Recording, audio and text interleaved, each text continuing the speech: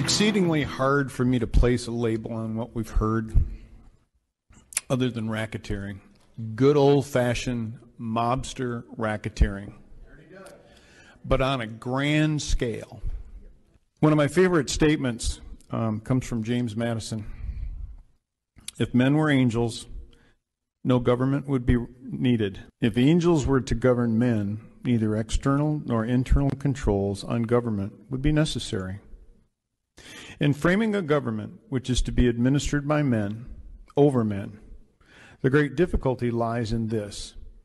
You must first enable the government to control the governed, and the next place, oblige it to control itself. Ladies and gentlemen, I have not seen one single government entity in the United States ever give up a scintilla of power once it seized it. We have endless, exec, endless executive orders from mayors, from governors, and I'm not hooting on our governor, I'm hooting on all governors. You don't have the authority to make me safe. That's my job.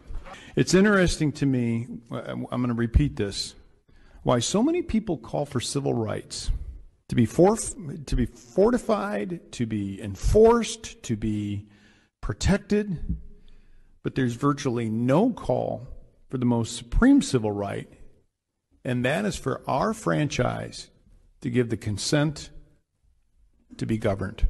What we're experiencing right now is a form of tyranny that is insidious, I hope that out of this, besides calling for a special session, which I am doing right now, we see a, a series of grand juries convened.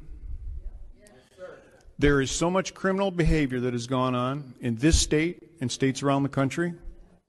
I believe that it's time for our Attorney General and the U.S. Attorney to start walking some people.